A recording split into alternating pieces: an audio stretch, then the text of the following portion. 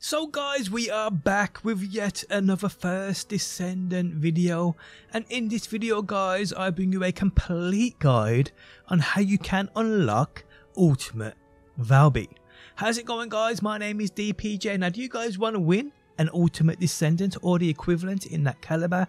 Well it's as simple as this. Drop a like on this video, leave a comment down below and make sure you are subbed.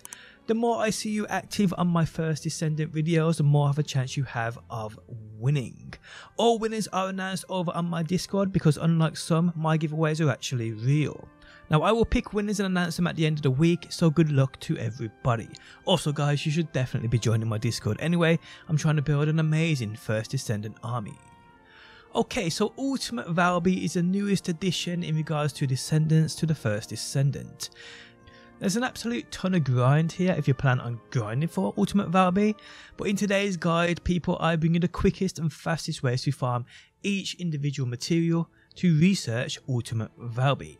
Okay, so Ultimate Valby and the research that goes into her consists of four individual parts. Now, each part besides the last blueprint requires four parts as well. So we have the Ultimate Valby Enhanced Cells, we have the Ultimate Valby Stabilizer, we have the Ultimate Valby Spiral Catalyst, and then lastly guys we have the Ultimate Valby code. So all but the Ultimate Valby code require individual parts to research. So we're going to start with the Ultimate Valby Enhanced Cells. So this requires Repton, compound coating materials, conductive metallic foils, as well as the Ultimate Valby Enhanced Cells blueprint. So let's start with a Repton. So Repton is obtained from Kingston resource boxes and I mean it's super easy to come across but if I were you, I'd definitely go to the Grand Square area upon Kingston, run around scanning guys and you'll find loads of this material within these containers. You'll also get the Nomad Shards too for doing this, which are needed for later material in the Ultimate Valby Spiral Catalyst.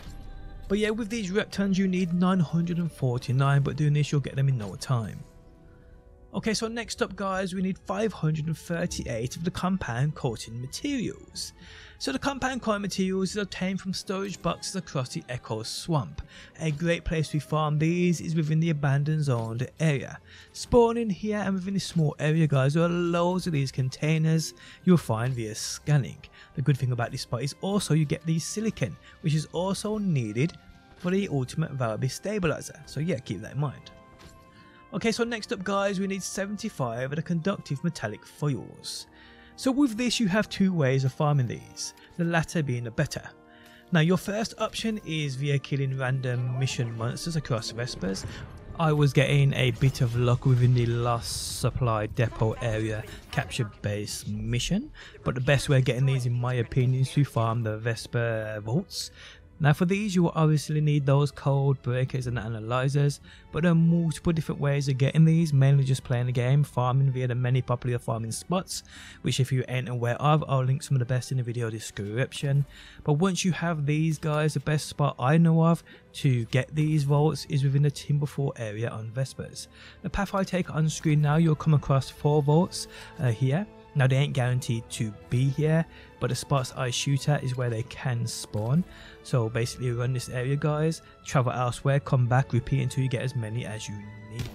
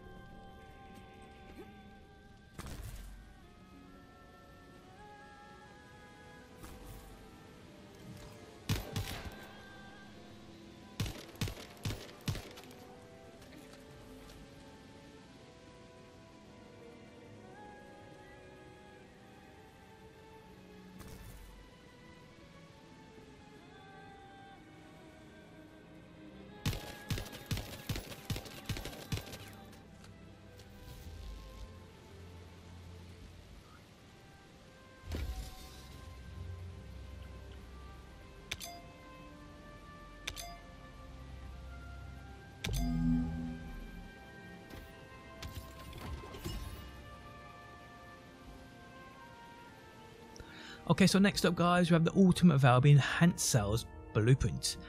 So to get this guys you need to first get the amorphous materials to get that small chance of receiving this item. Now there are a few different ways but in my opinion the easiest and quickest way for most players would to firstly go to the Hagios Old Mystery Mission. Uh, this will guarantee upon completion the amorphous pattern material of 44. Once you have this guys you then want to go and fight and defeat the Swamp Walker boss on that normal mode. Then use this pattern to have that 6% chance of getting this enhanced cells blueprint for Ultimate Valby. Chances are low but I've had worse come through quite often. Now once you have the required materials here guys you can now go and research the Ultimate Valby enhanced cells. This will be one of four parts completed. Okay, so next up guys, we have the Ultimate Valby Stabilizer. This consists of silicon, Hellion, heat plasma batteries, as well as the Ultimate Valby Stabilizer Blueprint. So first things first is silicon and we need 969 of these. So as I mentioned earlier, if you needed to farm the compound coating material, you'd also get the silicon too. So the same place guys is where it's best in my opinion to run this and that is the abandoned zone upon Echo Swamp. Loading, run around scanning guys, open those containers and you get plenty of these silicons. Next up guys you need 682 of that Hellion. So to get these in abundance you want to come to the Fallen Ark area within Fortress. Here guys again run around this small area scanning away, finding and opening those containers and you'll get as many of these as you need quite quickly. Next up guys you need 166 of the heat plasma batteries. So there are a couple of ways you can get these. My favourite way is to do the Haven mission upon Hagios. Halfway through this mission, whether you choose to do on normal or hard, normal mode makes more sense because you'll get through quicker, but there will be an elite enemy who drops this material for you. You can then abort and restart the mission or simply just finish the mission, get its rewards and then restart the mission guys. But do this until you get as many of these, it'll probably take a few runs, but it's your best bet in my opinion. Okay, so next up guys, we need the Ultimate Valby Stabilizer Blueprint. So the quickest way and easiest way in my opinion to get this is obviously first get the amorphous pattern. There are a couple of ways of doing this but I feel the amorphous pattern material of 30 is the easiest one to get and then use. This drops with a 100% drop rate from the Caligo Ashuri, does that say Ashari mission upon Agna Desert. Now upon you getting a few of these which you may want to do, you can then go ahead and use this amorphous pattern material after you defeat the Devourer on that normal mode for a chance of getting this blueprint to drop. Again, chances are low, so best of luck to ya. Okay, so once you have those materials all in all guys, you can now research the Ultimate Valby Stabilizer. That's two of four parts done. Okay, so next up guys, we have the Ultimate Valby Spiral Catalyst. This consists of mono shards, semi-permanent plasmas, the macromolecule biogels, as well as the Ultimate Valby Spiral Catalyst Blueprint. Okay, so first things first, Nomad shards, you need 554 of these. So as I mentioned earlier on the video guys, when you was farming at Repton, farming containers within the Grand Square in Kingston is amazing for these nomad shards at the same time, so do what you gotta do to get these. Next up guys, we need 652 of the semi-permanent plasmas. These are a material that come from the storage containers upon Vespers. I feel the best spot to farm these is within the Timberfall area as they are all over the place. So come here, run around scanning and you'll get more than enough of these. Next up guys, we need 242 of the macro molecule biogels. So the Echo Swamp Derelict Culvert areas at Zone Recon mission is great for this particular material.